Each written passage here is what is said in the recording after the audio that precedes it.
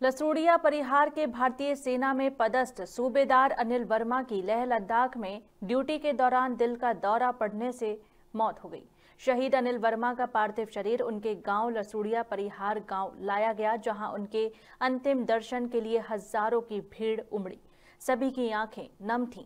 आपको बता दें कि शहीद अनिल वर्मा का राजकीय सम्मान के साथ अंतिम संस्कार किया गया।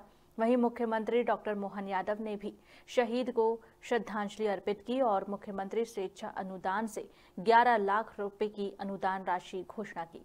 सीहोर से संवाददाता चंदर सिंह बागवान की रिपोर्ट।